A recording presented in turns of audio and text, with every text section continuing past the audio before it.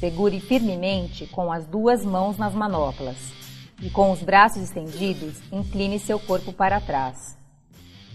Comece caminhando para frente, soltando o corpo lentamente e retorne à posição anterior.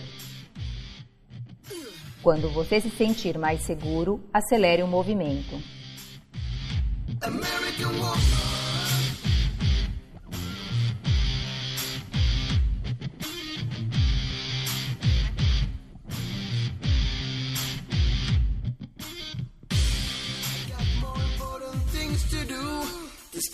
Segure com as duas mãos nas manoplas e agache.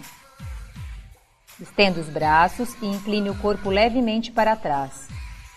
Comece realizando um balanço com o corpo de um lado para o outro.